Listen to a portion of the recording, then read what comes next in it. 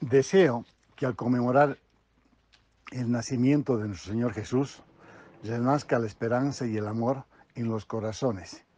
Y para el año nuevo venidero, sea Dios derramando sobre ustedes lluvia de bendiciones.